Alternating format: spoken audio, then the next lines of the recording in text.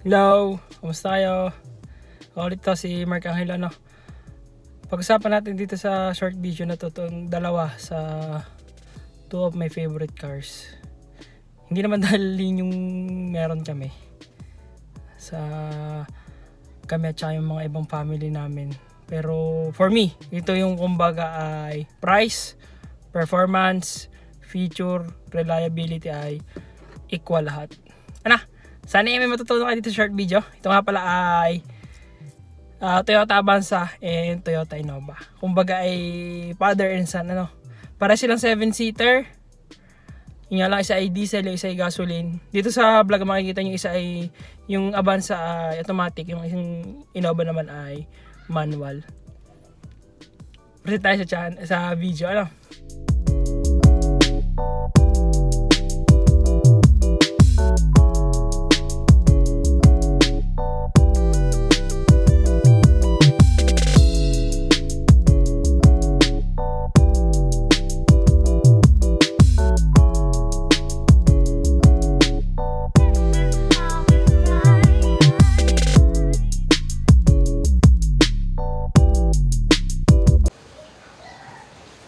Tayo dito sa laging napipicture sa content ko. Itong Toyota.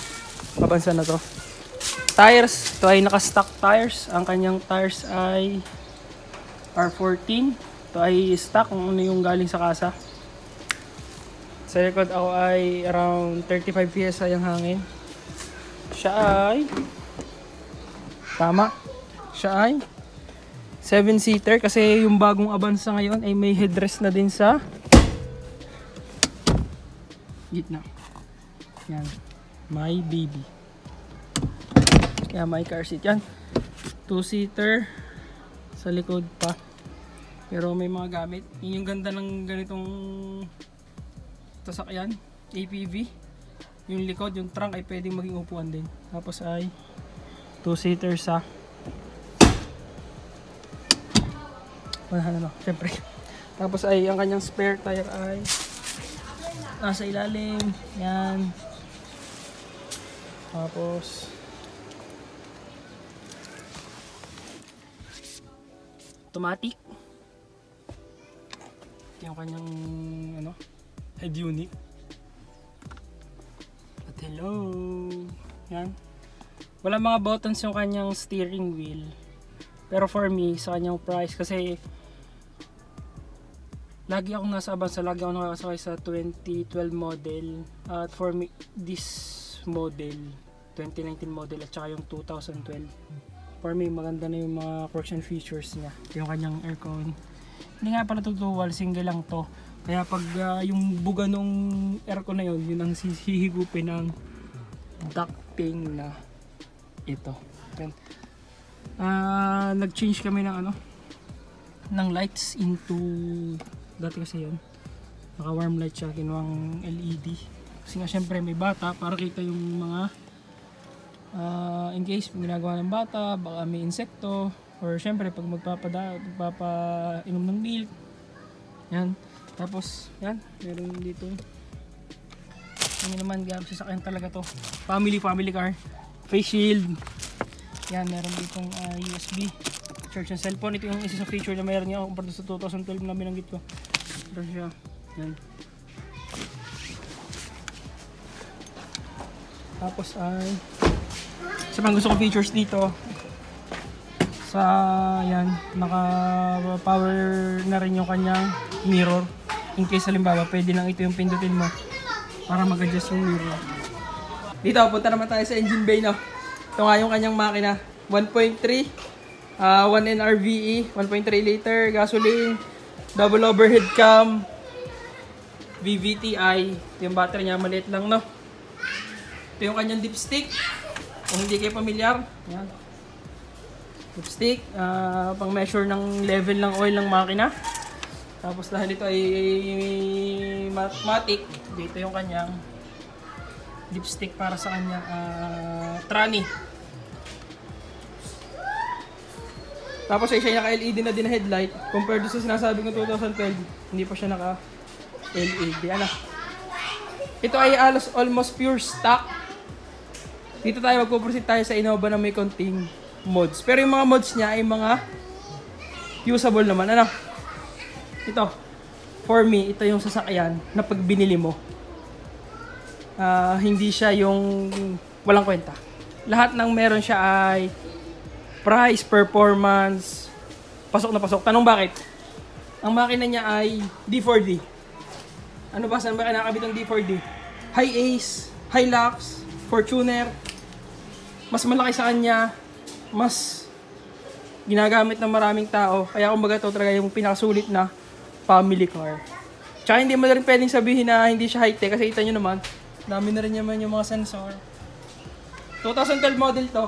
Pero nung nasa training pa ako, hindi mo siya pwedeng sabihin na hindi siya high-tech. Kasi kompleto na din siya ng sensor. Yan. Yung battery, compare nyo naman, oh. Doble ang laki. Kumpara natin sa battery ni Abasa. Bakit itong dalawang to pinag-compare ko?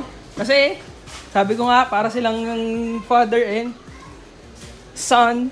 Yan. Mods. Naka LED headlights. Yan. Fog lights. Ito ay walang fog lights. Similarities. Pare silang naka disc brake sa front. Kung sa rear brake naman, pareho silang naka drum brake. Ito yung sa 2012 na Toyota Innova E. Proceed tayo sa Toyota Avanza E. Drum brake din siya. Pagkakaiba. 4 stud, 5 stud. Kaya makikita natin na talagang mas heavy duty si Innova. Yan.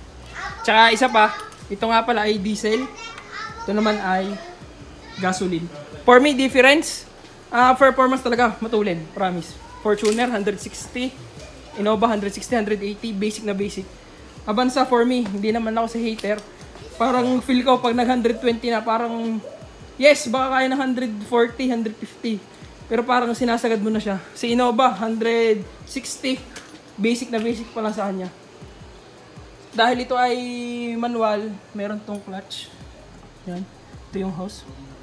Ito yung kanyang ah, reservoir ng brake. Yung kanyang dipstick ng oil. Yan. Punta tayo sa loob. Na, punta tayo sa loob. Dito tayo. Teka. Mag-proceed tayo sa loob. Tapos, teka, bago tayo mag-proceed sa loob, ito kasi yung pinaka-latest mod nito. Pinag-isipan to ng may-ari yung kanyang Rota wheels. Ah, shout out nga pala. Magaganda yung Rota wheels. Filipino boy made.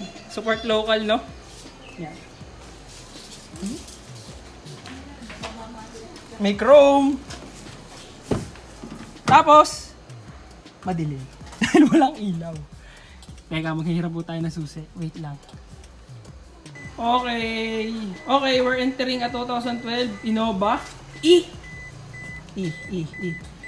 Yung kanina pinakita ko sa Avanza, naka-power na yung kanyang window. Ito ay manumatic na yung titimplahin. Manual. Tapos yan, mods din sa loob. Naka-LED na po siya. Kagaya po nung isa na naka-LED po yung gitna. Ito po ay, kasi ito ay family car. Ah, laps na laps nung may-ari nito yung kanyang pamilya. Kaya gusto niya eh syempre kasi maliwanag para sa kanyang mga anak. Yan. Isa din sa mods, naka leather din yung seat. Ito yung magandang magandang good investment. Tanong bakit? Madali kasi maglinis ng auto kapag naka leather seat. Kung hindi man genuine leather, ay di goods na madaling linisin, komportable. Yan. Tapos, ah dito tayo sa likod. Ito yung mas maganda sa Innova compare sa Avanza. Kasi napakaluwag niya. Itong anong to, itong space na to, kahit apat, kapag Filipino size, hindi katabaan, kasyang kasya. Pero pag puproceed tayo sa likod na kinakainis ko, totoo lang sa Toyota, bakit ganun? Punta tayo, no? Diesel, 2.5e. At ito na nga, Kasi yung kanyang upuan sa likod ay ang tupi ay pataas, hindi pa paunahan, hindi yung kagaya na sa mga Montero.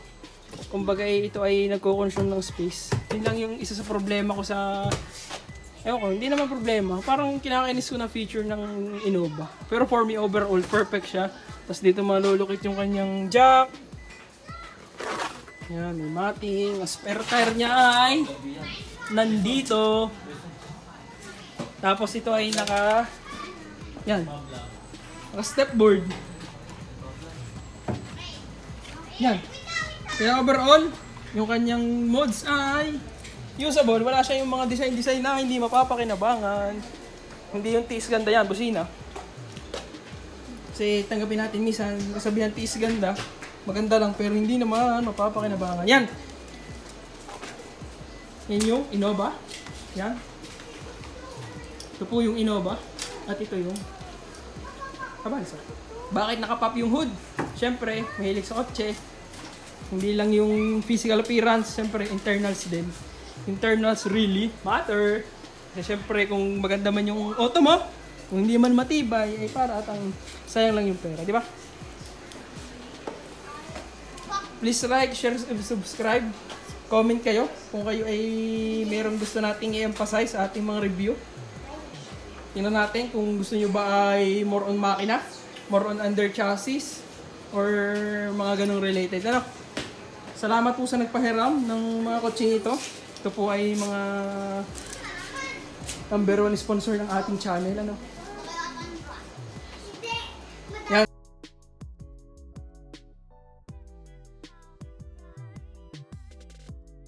Thanks for watching. Sana ay may natutunan kayo. Tapos, ay please like, share, and subscribe. Tapos, uh, kung kayo may time, pwede nyo i-like yung page ko sa Facebook para in case na hindi kayo ma-notify ni YouTube, hindi nyo makita. Makita kayo sa Facebook, ano? Thanks for watching. Bye-bye!